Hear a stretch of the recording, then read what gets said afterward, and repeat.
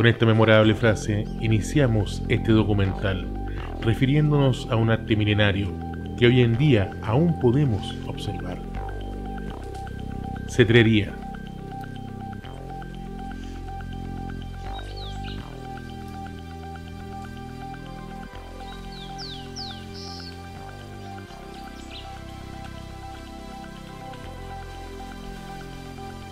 Estamos en Chicureo, comuna de Colina, en nuestra capital.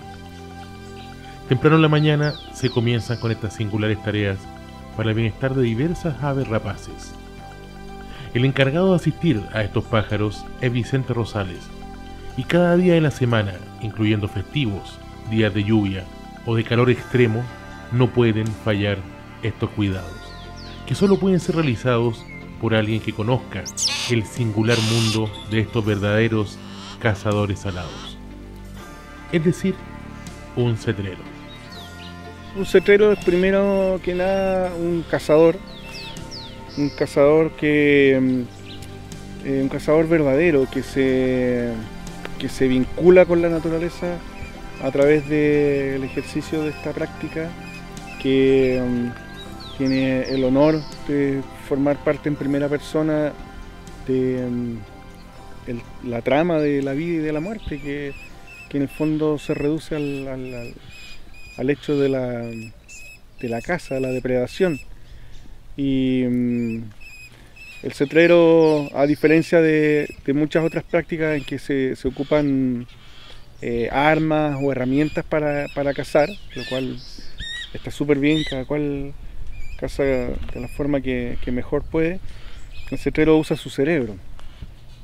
Entonces eh, es la, inteligencia, la habilidad, la disciplina, el rigor, el sacrificio, eh, la sumatoria de todas esas y a lo mejor otras, otros requerimientos los que van a permitir que el cetrero consiga su objetivo. Un cetrero, además, es quien conoce todo el mecanismo para poder llegar a cazar con un ave rapaz. Sabe pesarlas, alimentarlas, enriquecerlas y entrenarlas. Sabe leer a su ave y entender lo que ésta le pide. A veces comida, a veces vuelo, a veces solamente un buen baño.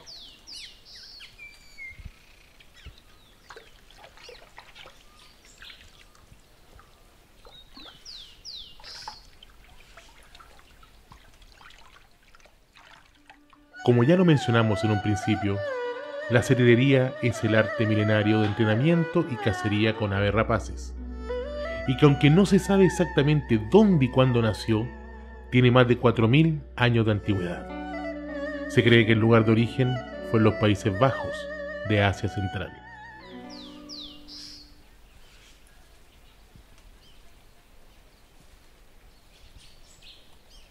Hasta el día de hoy se siguen usando las mismas técnicas de entrenamiento que se usaron desde un principio, como el caso de las pigüelas, que mantienen el ave controlada, tanto en puño como en su percha. Estos aparejos no le producen ningún daño al pájaro y son clave para este entrenamiento. Un buen cetrero debe saber fabricarlas él mismo. Acompañemos a Vicente entonces a fabricar un buen par de pigüelas. Lo primero es dibujar los moldes sobre el cuero.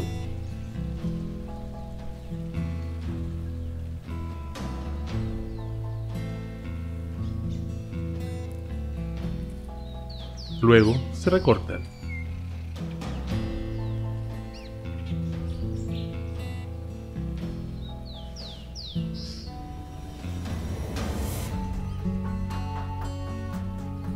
Con la ayuda de un sacabocados se hacen los orificios internos de la pigüela.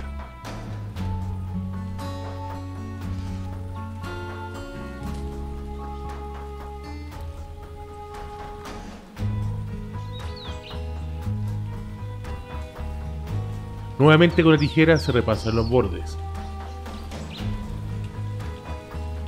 Una vez listo, se cubre de grasa animal. Con esto el cuero será más flexible y resistente.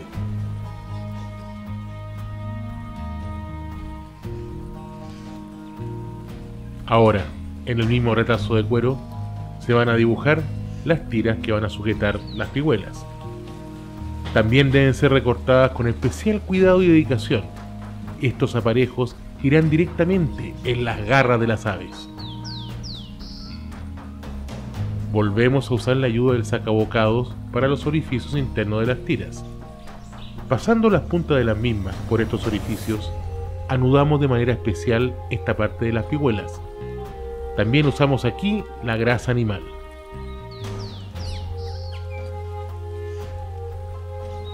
Ahora unimos los sujetadores con las tiras y tenemos listas estas pigüelas, que como lo ven en pantalla, son esenciales para el entrenamiento y control de estas aves. Esto nos hace meditar y preguntarnos cómo alguien llega a interesarle la cetrería.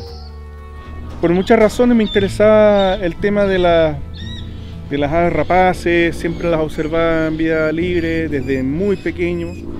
Eh, empecé a buscar los nidos, las iba a mirar, eh, me mantenía, digamos, atento a su comportamiento, eh, me impresionaba mucho el vuelo, las rapaces en general, y de repente viendo libros de animales, que era mi otra gran pasión, digamos, leer sobre la, fauna, encontré imágenes de aves rapaces adiestradas y me pregunté si yo en algún momento de mi vida iba a ser capaz de hacer eso, hablé con mi mamá, todo esto, y ella me dijo que era muy peligroso, que lo más probable es que nunca pudiera hacer algo como eso, de adiestrar una ave rapaz.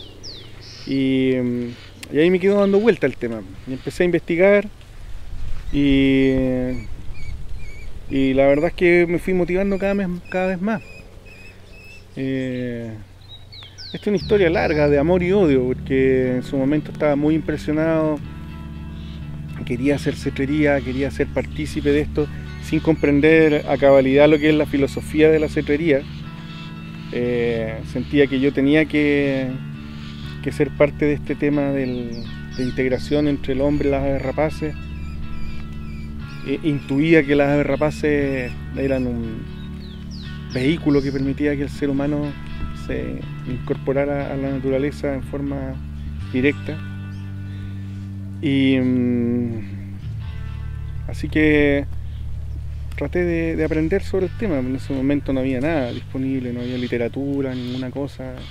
Por supuesto que no había internet. Y, mm, y las pocas personas que habían acá eran bastante reacias a traspasar su conocimiento a, gente nueva, sobre todo a alguien tan joven como yo.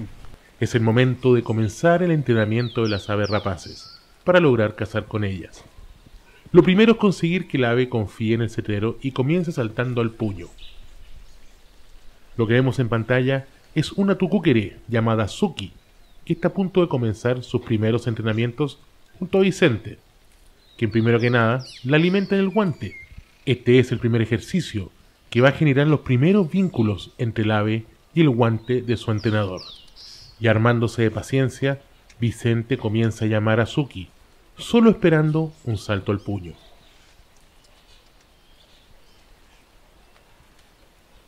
La llama una vez, mostrando siempre la comida.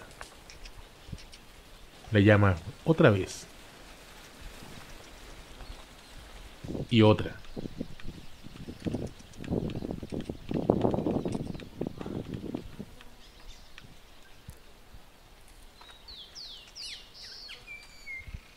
Suki finalmente ve el guante como oportunidad de alimentarse y salta en él. Lo que estamos viendo son los primeros vínculos entre cetrero y rapaz. Es el tipo de situaciones que se generan con las rapaces nocturnas. Uno las ve muy tranquilas, muy pasivas, pero al momento de ya comportarse con sus reacciones ya demuestran una, una potencialidad mucho más más dramática, más radical que, que la mayoría de las rapaces diurnas. Luego de varios saltos al puño, Vicente comienza a llamarla de una distancia más larga, para que la tucúquere pueda volar y cazar su comida con sus poderosas garras en el guante. El pito que suena es para llamar la atención del búho y que sepa que hay comida, para condicionarlo a cazar y siempre volver al guante del cetrero. Vicente cada vez tomará más distancia. El vuelo de Atucúquere está asegurado con el fiador, que es una larga cuerda para que pueda volar libre en una distancia controlada.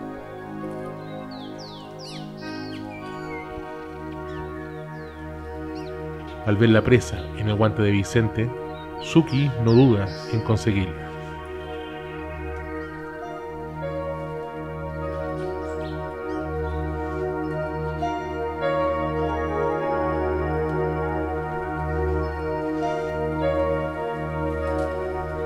Luego de tener al ave volando el puño, se comienza el trabajo del señuelo. Una cuerda con un par de metros de largo, con una punta como una presa, se mueve para que el ave, esta vez un peuco, la case como si fuera una presa real.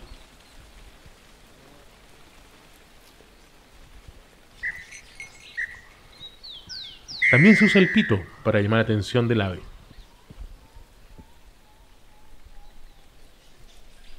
Esta técnica se puede usar con todas las aves rapaces, como por ejemplo con este aguilucho que ven en pantalla.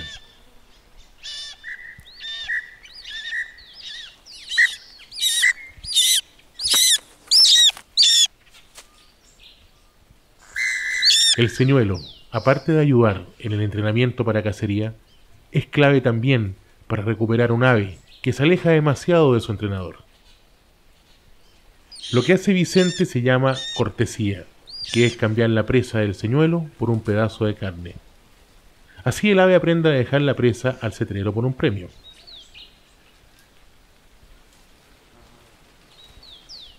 Ahora es el turno de usar el señuelo con los cernícalos. Esto sirve para muscular al ave y a la vez para que aprenda a cazar. Esta vez, el señuelo se va a encarnar con una presa de carne, para que el cernícalo pueda comer del mismo, tal cual lo haría en la naturaleza. El ave vuela libre y comienza el entrenamiento.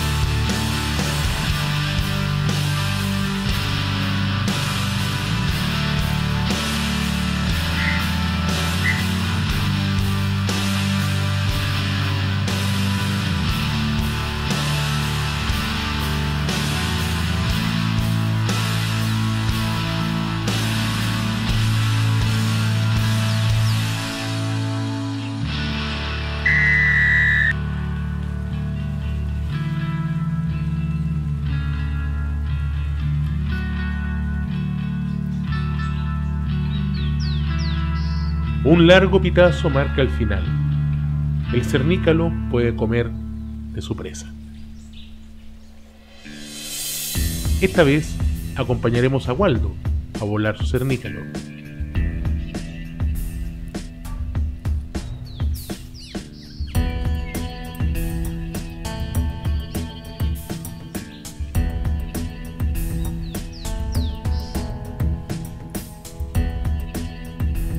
Él también usará el señuelo.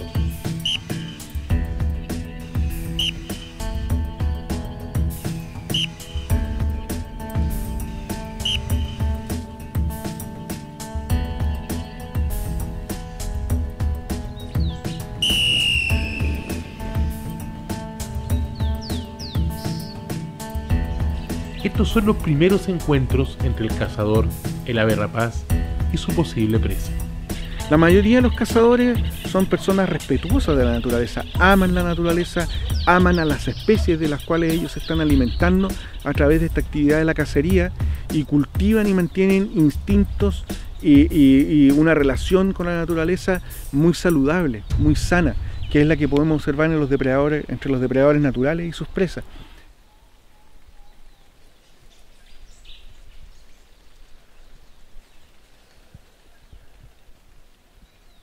Ya se puede volar al ave libre, en grande distancia, sin fiador, desde un punto fijo al guante, para acostumbrar al ave que este es el punto de descanso y alimento.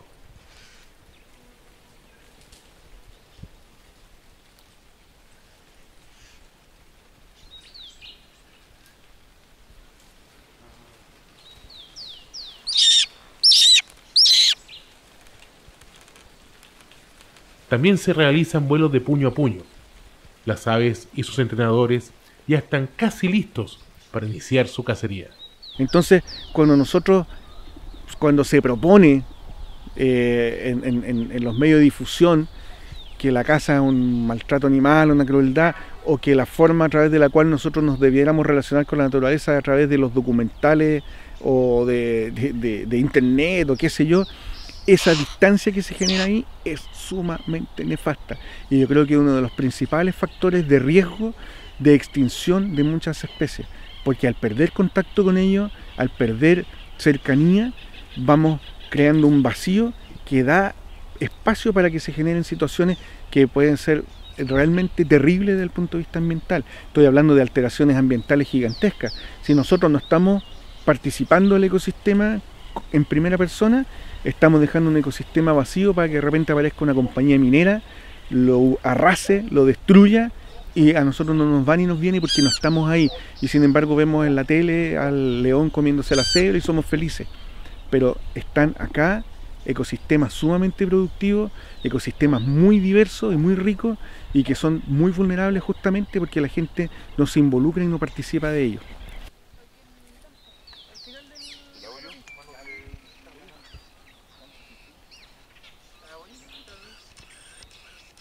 Una de las tareas que debe realizar un cetrero es aportar desinteresadamente a la conservación de la fauna de nuestro país. Es por eso que vamos a acompañar a Cristian y a Vicente a liberar un grupo de rapaces, conformado por águilas y aguiluchos. Lo primero que hace Cristian es sujetar bien las garras de esta poderosa águila, que aunque es juvenil puede hacer bastante daño con lo que son, en definitiva, las armas principales de todas las rapaces, tanto como para cacería y defensa. Luego Vicente le pone la caperuza, que mantendrá tranquilo al águila. El cerebro de las rapaces diurnas funciona de manera visual. Al cubrir este estímulo, inmediatamente tienden a tranquilizarse. Por supuesto que esto no le provoca ningún daño al ave. Ahora con mucho cuidado, Mauricio Pavés, cetrero y colaborador, pone anillos de identificación en sus patas. La información del ave quedará registrada gracias a estos anillos, para posteriores seguimientos y controles en caso de ser necesario.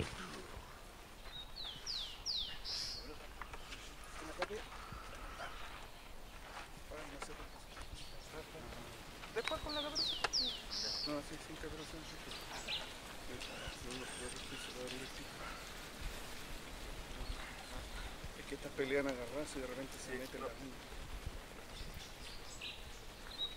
Este proceso se repite con todas las aves a liberar.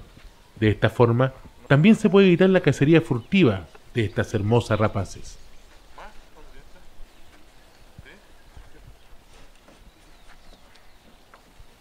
Así, muy temprano, llegamos a la cuesta de Chacabuco, a pocos kilómetros de la capital. Un lugar perfecto para esta liberación. Como ven en las imágenes, gran cantidad de público se ha reunido para ver estas rapaces ser libres. Así que es perfecto momento para un poco de educación, y es otra parte importantísima que cada cetrero debe realizar. Es una especie totalmente distinta, ¿ya? y este, en este caso particular es un juvenil, es de color café. Eduardo Pavés, también gran cetrero y colaborador con la educación sobre la fauna nativa, se nos ha unido para enseñar al público sobre estas rapaces. Y sin más preámbulo, liberamos las aves. Uno,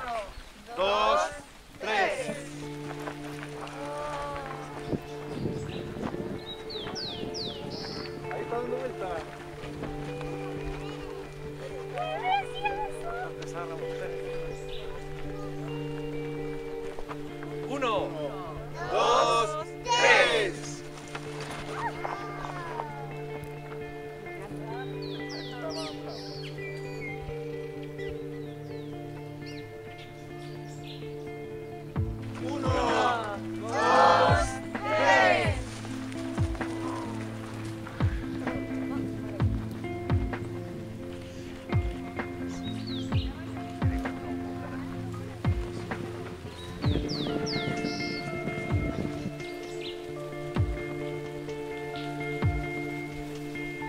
Estas lindas rapaces ahora pueden volar libres por los cielos de nuestro país.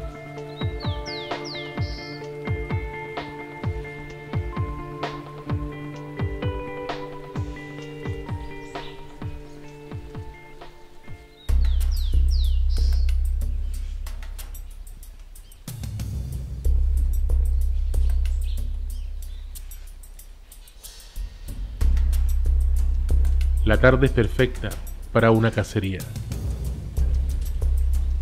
Vicente camina con un peuco en busca de una presa. Este es un momento muy especial y muy íntimo entre el ave y el hombre. No pasa mucho tiempo y el peuco localiza su objetivo. Vicente lo suelta y este se lanza a su presa.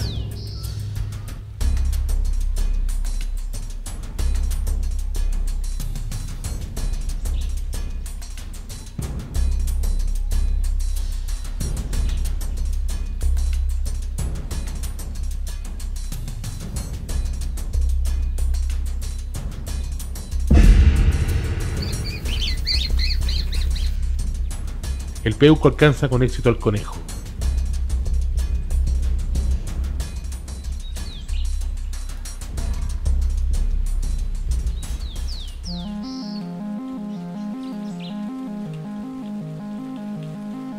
Este es el momento preciso en que un entrenador se convierte en cetrero. Cuando logra por primera vez, luego del trabajo de entrenamiento, darle cacería a su ave rapaz.